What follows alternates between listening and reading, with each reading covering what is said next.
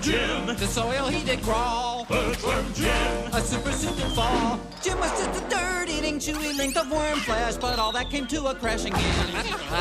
Earthworm Jim. He's such a groovy guy. Earthworm Jim. He rockets through the sky, cruising through the universe, having lots of fun. Here comes Earthworm Jim, you know that he's a mighty one. Look out!